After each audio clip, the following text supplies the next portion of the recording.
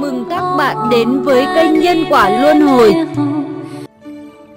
Lý do có lương hoàng bảo sám.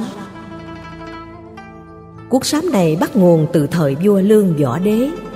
Tính vua ưa hành thiện, thích tu hành.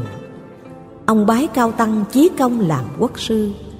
Trị vì 46 năm, thọ 86 tuổi. Vào năm 463 và năm 549 Do Hoàng hậu Hy Thị là vợ vua Lương Võ Đế. Lòng nhiều tật đố, khinh khi tam bảo, Tính dữ như độc xà.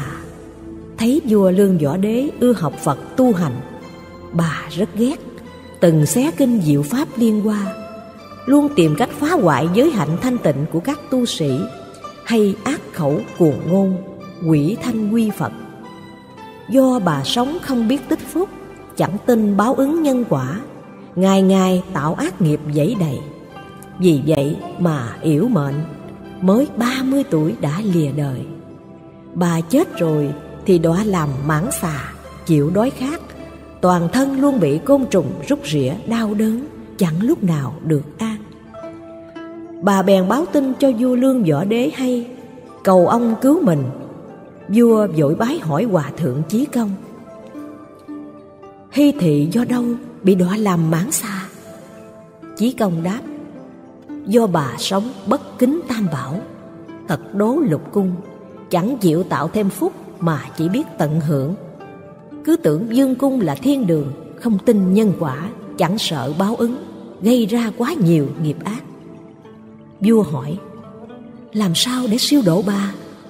Chí công đáp, Nếu muốn siêu độ, Bệ hạ cần thiết trai phạn Thỉnh cao tăng cúng dường, Lập đại đàn tràng, Sám hối tuyên dương Phật Pháp. Ngài cần nghiên cứu kinh tạng, Đích thân lễ bái, Tụng niệm, sám hối. Vua làm theo lời dạy Và thỉnh Ngài Chí Công soạn ra án văn sám hối này. Sau đó, Chúng tăng lập đàn tràng lễ sám, Cầu cho hy thị. Khi bộ lương hoàng sám vừa tụng xong, Thì thấy một vị trời dung nhan xinh đẹp Bảo vua lương rằng Tôi nhờ Phật lực Nên thoát kiếp mãn xà, Được sanh thiên, Nên nay đến lễ tạ ân. Qua câu chuyện đó, Đủ biết bản sám này Có thể khiến ác tiêu lành đến Tội diệt phúc sinh. Do lúc Ngài Chí Công biên soạn, Đã được Bồ Tát Di Lặc ứng mộng ban tên là Từ bi đạo tràng sám pháp, Lại bắt nguồn từ vua Lương Võ Đế, Nên gọi là Lương Hoàng Bảo Sám. Lúc bái sám, Có sư hướng dẫn đại chúng hành theo. Ý nghĩa sám là Dùng hình thức này giúp mọi người đồng tu, Hằng giữ chính niệm, Giờ giờ khắc khắc, Luôn phản tỉnh kiểm soát bản thân. Nhờ chí thành sám hối, Dẹp trừ chướng ngại Mà được thanh lương. Bộ lương hoàng bảo sám này, Sau khi siêu độ hoàng hậu hy thị Thu được kết quả di diệu rồi, Thì trải qua nhiều đời, Vẫn tiếp tục phát huy quy lực, Chiêu nhiều cảm ứng thần kỳ. Do vậy mà được tôn là bảo sám, Bắt nguồn từ chữ sám. Bởi nếu không chân chính sám hối, Thì không là đạo tràng từ bi, Mà cũng không thể gọi là bảo. Vì vậy, Lương Hoàng Bảo Sám chứa ân huệ vạn ngàn, Đức trùm thiên thu. Công đức sám hối tán thán Không sao hết được. Quyển 1 Sám văn. Hôm nay tất cả mọi người đến đây tham gia lễ sám. Tuy không quan hệ quyết thống Nhưng đều có trí huệ và lòng từ bi có thể cảm thông. Đây là Phật duyên, thâm tình hơn cả ruột thịt. Hôm nay tại đạo tràng đồng tu Nguyện đời đời cùng nhau trước Phật. Thân xác này tuy có tử vong nhưng pháp thân thường còn chẳng lìa. Cho nên trong lúc đồng tu không phân cao thấp Dùng tâm bình đẳng mà đối nhau như quyến thuộc Cha mẹ, anh, chị em. Ngưỡng mong đại chúng hoặc phàm hay thánh Hoặc ẩn hay hiện trong đạo tràng này Đồng gia trì che chở Nhiếp thọ cho đệ tử chúng con Sám hối được thanh tịnh Thệ nguyện được thành. Tâm như chư Phật Nguyện đồng chư Phật Chúng sanh trong tứ sinh lục đạo Nhờ đây mãn bồ đề nguyện. Giải thích. Lục đạo gồm thiên nhân Atula, súc sinh, ngạ quỷ, địa ngục Tứ sinh Bốn loài sanh tử Thai, noạn thấp, quá sinh. Do nghiệp lực chiêu cảm thành sinh ra trong bốn loài. Thai sinh Loài trong thai mẹ sinh ra. Noãn sinh Loài trong trứng sinh ra Thấp sinh. Từ hàng nhiệt mà sinh ra Như loài trùng dòi ở nơi ẩm ướt. Quá sinh là dựa vào nghiệp lực mà sinh ra như loài trời. Trong lục đạo Người cùng súc sinh đều có đủ bốn loại thai, noãn, thấp, quá sinh. Chúng ta có thể thấy loài súc sinh thuộc ba loại Thai, noãn, quá sinh. Riêng chúng cõi quỷ thì có hai loại, Thai sinh và quá sinh. Còn tất cả chư thiên cùng chúng ở cõi âm và địa ngục Thì thuộc về quá sinh. Hôm nay tại đạo tràng, Những chúng sinh hiện diện có thể nhìn thấy hoặc không nhìn thấy. Đồng lễ bảo sám, phát đại tâm, đại nguyện để báo Phật ân. Lúc công đức chưa làm xong, Nguyện dùng sức mạnh công đức sám hối này, Cảm hóa chúng sinh hiện có. Khiến phát đại tâm thọ trì giới Phật không quỷ phạm. Dùng sức công đức sám hối này Khiến ta đối với chư trưởng bối, bạn đồng tu, Không sinh tâm ngã mạn tự kiêu, Sống không có tâm tranh đấu, Chẳng khởi tham sân. Nếu thấy người có thân tướng tuyệt hảo, Dung sắc tốt hơn mình, Thì không khởi tâm tật đố. Nếu gặp chúng sinh hướng ta cầu pháp tu hành xuất tam giới Tuyệt chẳng lẫn tiếc. Ta có làm được thiện sự Và gieo trồng công đức phúc điền gì Đều hồi hướng cho chúng sinh Cả đến loài cô quỷ, giả quỷ Những chúng sinh thọ khổ trong địa ngục Và tất cả những chúng sanh không được ai tạo công đức cho Thì ta cũng xin hồi hướng phúc cho họ. Trước dùng dục câu dắt thỏa mong cầu cho họ sao dẫn vào biển trí tuệ Phật đối với người nghèo thường hành bố thí, đối với người cần an ủi thì ban cho lời dịu dàng. Đối với người cần hỗ trợ thì giúp đỡ làm lợi. Đối với người hữu duyên gặp gỡ thì làm đồng sự. Đây là áp dụng tứ nhiếp pháp tùy duyên mà quá độ, dẫn người vào chánh đạo, giúp chúng sanh quy hướng phật đạo. Giúp người già không chỗ nương hoặc kẻ tù tội, mất đi quyến thuộc nương tựa gặp người không tiền trị bệnh thì phát tâm cứu tế, khiến họ được an vui. Thấy người xâm hại lợi ích tha nhân và quốc gia, thì phải dũng cảm ngăn cản cho họ không phạm tội.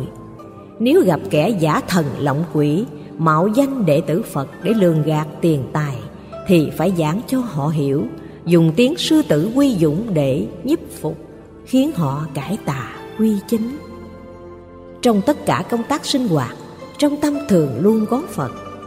Nhẫn được những điều người không thể nhẫn, làm được những điều người không thể làm. Xem tất cả đều là bồ tát, mình là phạm phu. Lúc nào cũng kiểm điểm tu sửa bản thân tùy duyên độ người. Đây chính là hành hạnh bồ tát. Nối tiếp huệ mệnh phật, ngưỡng mong chư phật bồ tát cùng thiện tri thức gia hộ, giúp đại chúng hôm nay phát đại nguyện đạo tâm tăng mạnh. Giải thích chương 1 quy y tam bảo. Chúng ta đã biết thân mình giống như xương sớm, chẳng biết mất lúc nào. Được mang thân người là rất khó, bởi một khi mất thân người, vạn kiếp khó phục hồi. Huống chi chúng ta không có đức hạnh gì đáng khen. Cho dù ta có trí tuệ kiến thức thì hành vi ngôn ngữ thường không tốt, chẳng được trung hòa nhân nghĩa như thánh hiền. Cư xử vô lễ, toàn làm việc điên đảo ngu si, tạo nghiệp ác trùng trùng. Ta không hiểu rõ nhân quả giống như chư thánh, cũng chẳng hiểu phật pháp. Tuy ta có nhiều chí nguyện hoài bão song đều nằm trong dòng danh lợi, cùng đạo trái ngược rất xa. Ngày nay, ta được tham dự pháp hội bái sám thù thắng này mong tất cả đồng sinh tâm ăn năn sám hối hổ thẹn biết sợ biết lo chúng ta thành tâm sám hối giải bài hết tội nghiệp sâu nặng hy vọng nương đại lực chư Phật Bồ Tát và đại chúng mà tiêu trừ tội nghiệp và pháp hội mau chóng thực hiện xong. Phải biết pháp hội sám hối này rất là thù thắng hy hữu. Mong mỗi người chúng ta tự nỗ lực tinh tấn, sống lúc nào cũng có Phật trong tâm, thờ phụng tam bảo đến hết đời, lấy đây làm vui, pháp hỷ sung mãn. Mong chư vị đồng tu gìn giữ tâm mình, không nên khởi niệm sai phạm. Hàng mặt giáp nhẫn nhục, ý nói luôn nhẫn giỏi, không khởi tâm sân. Khi bị người lăng nhục chửi mắng, phỉ báng thì khéo dập tắt tham sân si, siêng tu giới định huệ. Như vậy mới là thâm nhập pháp môn. Kinh Lăng nghiêm dạy, nhiếp tâm giữ giới, nhân giới sinh định, nhân định sinh huệ. Đây gọi là tam vô lậu học. Chúng con là người bái sám tự xưng tên họ pháp danh mình ra bao gồm những người đến tham dự đạo tràng trong đây có rất nhiều chúng sinh mắt ta có thể thấy hoặc không thể nhìn thấy như thiên thần, thọ thần, thảo mộc thần, chư tiên cùng những vong linh hoạnh tử chưa đầu thai. Trước khi lễ sám, người bái sám có thể ở tại đạo tràng âm thầm nghĩ đến những quan gia trái chủ hay quyến thuộc chưa tin Phật thuộc đời quá khứ hoặc hiện tại của mình. Dù họ còn sống hay đã mất, chỉ cần chư vị niệm tên họ triệu thỉnh âm thầm. Nếu như họ đến trước Phật, dù chỉ không lưng xá chào hoặc lại một lễ chắp tay một lúc, thì xem như là chỉ có chút thiện duyên nhỏ bé mỏng manh. Song thần thức họ nhờ được bạn kêu mời nên mới có thể lập tức đến hiện diện tại đạo tràng này nếu họ phát tâm chịu tham dự pháp hội sám hối lễ Phật này thì ắt sẽ thu được rất nhiều lợi ích. Khi bạn niệm tên họ, giống như ban cho họ vé vào cửa để tham dự, nên họ đối với bạn sanh tâm cảm kích không cùng. Nhân đây có thể phát sinh tác dụng quá giải quán hận. Thông thường tại các pháp hội lớn, nhỏ hay ngay trước Phật đường nhà mình, khi chúng ta tụng kinh lễ Phật sám hối bạn vẫn có thể mời thỉnh họ tham gia. Dần dần bạn sẽ phát hiện ra người trong nhà cũng đang quy hướng Phật giáo. Thậm chí các quan thân trái chủ trước đây còn có thể sẽ hướng bạn báo tin vui, tha thứ trong mộng. Đương nhiên trong sinh hoạt bình nhật, trước tiên bạn phải nghiêm trì giới luật. Muốn hành giỏi Phật Pháp, bạn phải làm một người tốt, chu toàn bổn phận trách nhiệm ở cương vị mình. Là đệ tử Phật, thì bắt buộc bạn phải là người chồng tốt, vợ hiền, con ngoan, cha mẹ tốt, cha mẹ chồng bao dung. Để mọi người khi nhìn thấy đệ tử Phật có tư cách phẩm hạnh ngày càng cao thượng, thì họ mới tin rằng Phật giáo thật sự đem lại lợi ích cho bản thân và gia đình. Như vậy họ mới chịu thử nghiệm và bước vào đường đạo. Quỷ thần cũng thế, họ đều có tha tâm thông, nên có thể đọc được tư tưởng con người bạn nghĩ gì, làm gì, họ đều nhìn rõ mồn một. Nếu bạn là người ác mà muốn gọi họ đến, họ không thèm tới đâu. Phật là Phật Đà Gia, thuộc cổ ngữ Ấn Độ, dịch là giác ngộ, tức là bậc đại trí huệ hiểu rõ chân tướng vũ trụ vạn vật.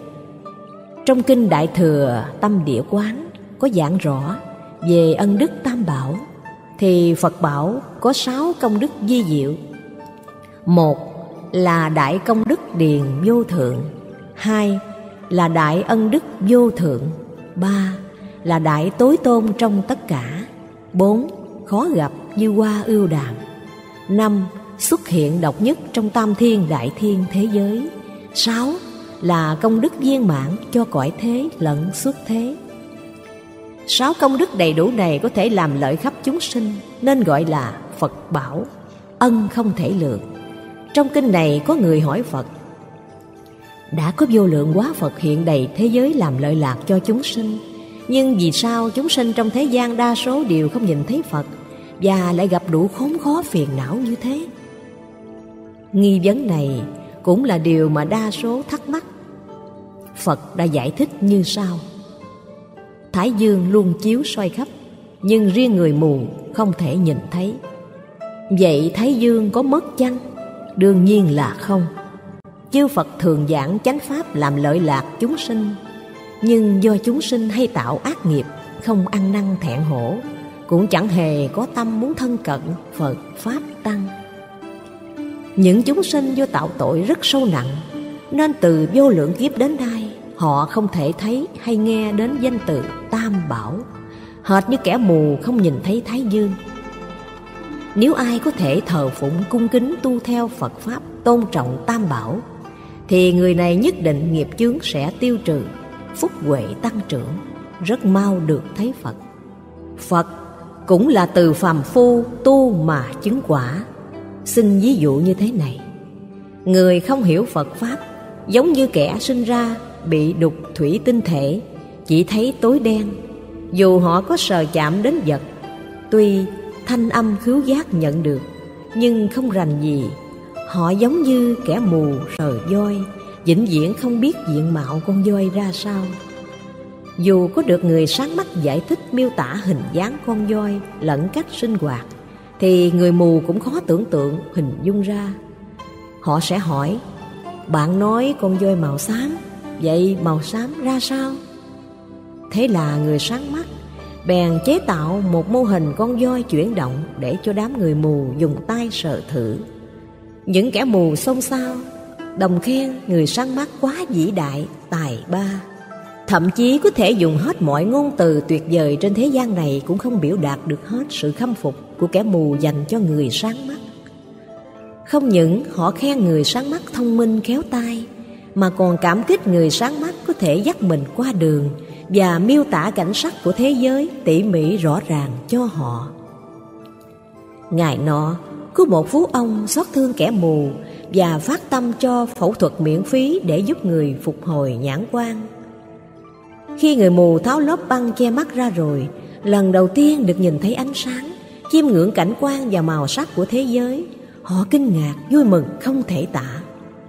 Sau khi bình tĩnh, họ bỗng ý thức được nguyên lai mình có đôi mắt tinh tường giống như bao người sáng mắt. Nhưng do bị bệnh nên không thể thấy ánh sáng. Thế là trong lòng họ tự trách mình ngu si, vì sao không sớm đi phẫu thuật. Kể ra câu chuyện này, Tôi muốn nói rằng những người mê đắm ngũ dục là tài sắc danh ăn ngủ giống như người bị bệnh đục thủy tinh còn thiện tri thức là người sáng mắt còn kinh điển và phật là nhà tỷ phú từ bi sau khi phẫu thuật trừ bỏ vọng tưởng chấp trước mê đắm ngũ dục rồi nếu như bất kỳ ai có lòng can đảm dám bước vào nhà phẫu thuật chịu nhận thống khổ, xả dục thì ánh quang minh sẽ lập tức hiện ra trước mắt ngay. Bởi vì ai cũng có đầy đủ trí huệ quang minh, bất sinh bất diệt, bất cấu bất tịnh, giống như chư Phật Bồ Tát. Phật là chúng sinh đã giác, còn chúng sinh là những vị Phật chưa giác ngộ. Một khi chúng sinh giác thì bình đẳng cùng Phật không khác, chẳng còn phân cao thấp trên dưới nữa. Phật Thích Ca Mâu Ni là đạo sư trực tiếp của chúng ta, là thầy bổn sư nên chúng ta mới niệm Nam Mô Phật Bổn Sư Thích Ca Mâu Ni. Nam Mô là gọi theo tiếng Phạn có hàm ý quy y, giáo pháp mà Phật Thích Ca giảng không những vô lượng chư Phật trước Ngài từng đã giảng, mà sau Ngài chư Phật vị lai cũng sẽ giảng như thế. Bởi vì tận hư không khắp Pháp giới lý đạo, đạo chân thật vốn như thế vốn là quy luật thế gian. Phật pháp không phải là do một vị phật sáng tạo phát minh ra nên không thể diện cớ. Nhưng vì thời đại biến đổi mà có thể cải sửa tạo mới thậm chí còn không thể chỉnh sửa một từ. Vì vậy mới nói lìa kinh dù một chữ thì không phải phật thuyết. Giống như thành phần nước là H2O nhất định ta không được tăng lên thành H3O cũng không thể giảm thành HO bởi tăng hay giảm một chút thì chẳng thể trở thành phân tử nước. Phật Pháp cũng vậy, chỉ có y theo những gì Phật thuyết mà tu mới có thể liễu sinh thoát tử. Nếu sửa đổi lời Phật thuyết thì chính là ma thuyết. Y theo lời Ngài mà thực hành, Nhất định sẽ thành tựu. Tuyệt đối không thể diện cớ, Lấy tiếng là để cho thuận hợp với thời đại trào lưu Hoặc nhân danh tân tiến mà xuyên tạc, bóp méo. Cho nên, quy y Phật không phải là quy y riêng với một vị Phật nào, Mà bao gồm quy y tự tính Phật Của tất cả chư Phật tận hư không khắp Pháp giới. Quy y tự tính Phật có nghĩa là tâm chúng ta từ hắc ám chuyển sang quang minh, tức tâm là Phật. Quy y Pháp cũng không phải quy y với riêng một bộ kinh nào của Phật giảng, mà là quy y tất cả Phật Pháp hiện hữu. Trong luận Đại Trí Độ nói, Phật Pháp không những do chính kim khẩu Phật thuyết, mà còn là thiện ngữ chân thật, di diệu tốt lành của thế gian – tất cả đều xuất sinh trong Phật Pháp. Trong Phật Tỳ Ni thuyết, sao là Phật Pháp? Phật Pháp do ngũ chủng nhân, năm loại người thuyết. Một là từ kim khẩu Phật thốt ra, hai là do đệ tử Phật nói, ba là do tiên nhân nói, bốn là do chư thiên nói, năm là do quá nhân nói. Kinh Pháp Phật giảng có khi vì người mà phương tiện thuyết pháp cứu cánh viên mãn Chữ kinh của Trung Quốc có nghĩa là lộ, là đường.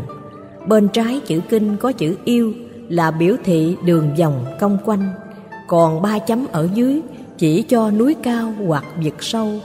Phần dưới cũng chữ bên phải hàm ý đường thẳng ít mà cong thì nhiều.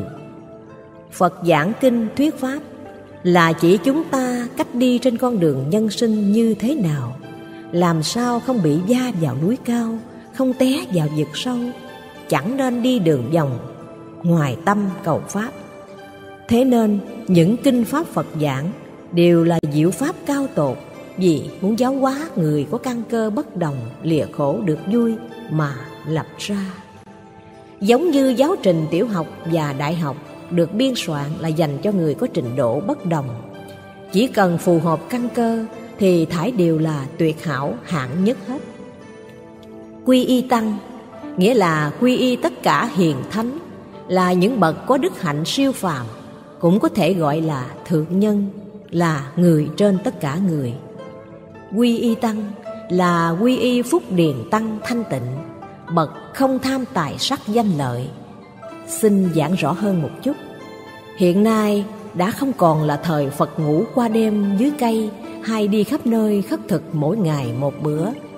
Vì hồi đó Phật và đệ tử sinh sống tại Ấn Độ. Trên thân, trừ y bát ra, thì không có thứ gì. Còn ngày nay, tu sĩ còn có tự diện am đường. Chỉ cần tăng chúng tu hành y như Phật chỉ dạy, Tất nhiên sẽ được nhân thiên cúng dường. Vì đạo cao long hổ phục, đức trọng quỷ thần khâm. Cho nên ngoài tứ sự cúng dường ra, mà còn tham lam hướng về người, chìa tay xin tiền, xin vật đều không thể xem là bậc chân tu, cũng chẳng phải là hiền thánh. Ngài tuyên hóa từng giảng, hãy tu mà còn tham tiền thì không xứng đáng được bá tánh và cư sĩ kêu là sư phụ. Càng không có tư cách xưng là sư phụ, bởi vì sư là hướng dẫn tri thức, phụ là nuôi dưỡng con trưởng thành. Mà bậc từ phụ thì chỉ hướng dẫn con cho ra mà không đòi nhận chỉ khi con thành tài rồi, thì tự nhiên sẽ cung dưỡng phụ mẫu. Ngài còn giảng, người xuất gia khi thọ người đảnh lễ, nếu không đắp y, đại diện phúc điền y của phật, thì xem như chỉ là bá tánh, cạo đầu suông, không đủ tư cách nhận người đảnh lễ. Bởi vì bạn vốn là kẻ phàm phu xuất gia tu hành. Trước khi chưa chứng quả Phật Bồ Tát, Thì bạn vẫn là một phàm phu. Cho dù có làm hòa thượng trụ trì đi chăng nữa, Thì chỉ khi thân có đắp thượng y Mới đủ tư cách nhận người đảnh lễ, Nếu không sẽ bị tăng tội tiêu phúc. Ngài tuyên hóa mỗi lúc nhận đệ tử đảnh lễ, Trước tiên Ngài đều đắp thượng y vào, Rồi mới cho họ lễ. Ngài nói, không đắp y mà nhận người đảnh lễ sẽ làm tiêu hao phúc báo của mình, bao gồm cả việc mình tự xưng danh chức chẳng hạn như danh từ thượng nhân, pháp sư, đại sư hay cư sĩ. Là do người vì cung kính mà gọi thế, chứ bản thân mình không nên tự xưng ta là pháp sư, cư sĩ. Lúc tự giới thiệu mình, chỉ nên xưng pháp danh là đủ. Tóm lại, người không giữ giới phật, cho dù có mang tướng xuất gia, cũng không phải là đệ tử phật. Đương nhiên, không thể dự vào hàng ngũ hiền thánh. Hiện nay mọi người đều nói là thời kỳ mạt pháp, tà sư thuyết pháp nhiều như các sông hằng, tà pháp cũng nhiều. Đúng như trong kinh lăng nghiêm phật nói, họ giả mượn y phục ta, buôn bán như lai, tạo đủ tội, khiến kẻ sơ học khó phân rõ chánh tà sinh hiểu biết lầm lạc. Phát sinh cảnh, kẻ mê mờ truyền dạy điều hồ đồ, nên tương lai sư phụ vào địa ngục thì trò cũng lót tót theo sau. Người muốn tu học phật pháp cần phải thâm nhập kinh tạng, xem nhiều kinh sách để có thấy biết chân chính, phải lấy pháp phật thuyết làm tiêu chuẩn mới có thể đạt được ích lợi và không bị những kẻ gạt lường, tự xưng là phật sống, bồ tát tái lai hay mạo danh hòa thượng diệu pháp để lừa bịp. Chư phật bồ tát có lòng đại từ bi vô hạn hay bạc khổ khéo ban vui cho chúng sinh. Phật thương hết thảy chúng sinh như con, giúp chúng sinh dập tắt lửa tham sân si, chuyển cuộc sống phiền não thành an vui, liễu sinh thoát tử, vĩnh viễn không quay lại thọ khổ trong lục đạo tam giới nữa. Vì vậy mà chúng ta cần phát nguyện quy y chư phật bồ tát. Phát nguyện độ chúng sinh thành tựu phật đạo là phi thường đáng quý. Trong kinh hiền ngu có câu chuyện như sau.